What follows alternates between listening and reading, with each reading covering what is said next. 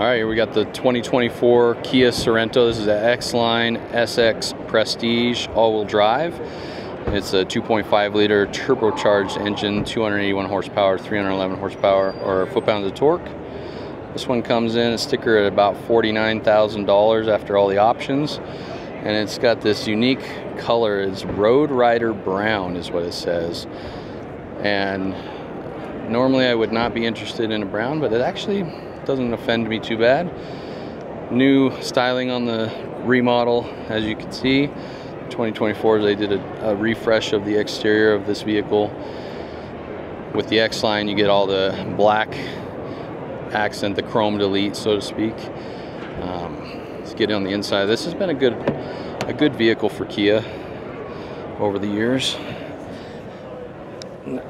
Got your typical Kia dual infotainment screens, so your gauge cluster, infotainment here, cup holders.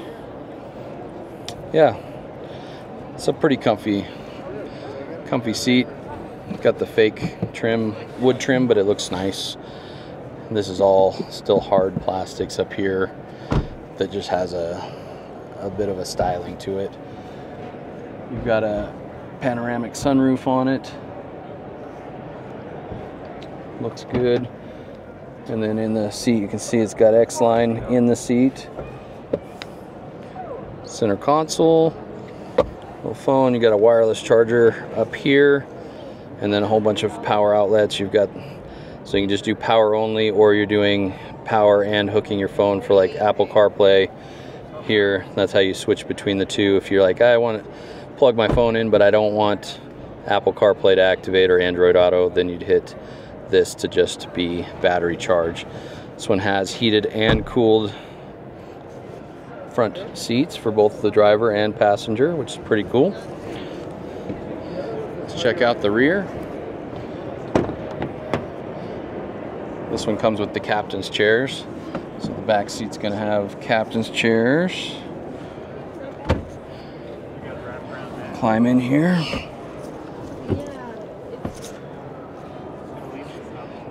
Let's see.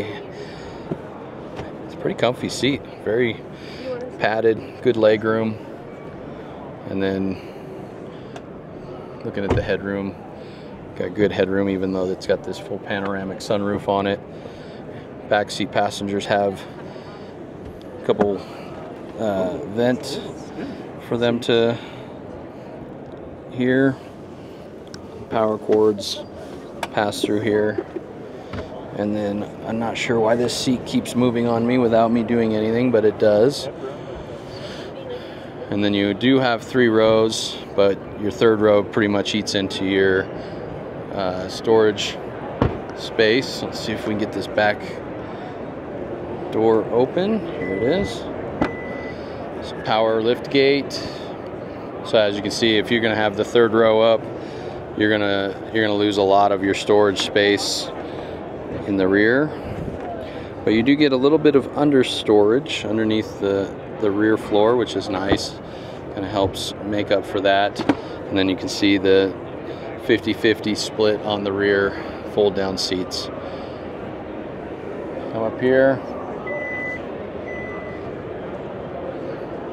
Good power tailgate. The rear, mostly what they changed here, the rear tail lights have different styling.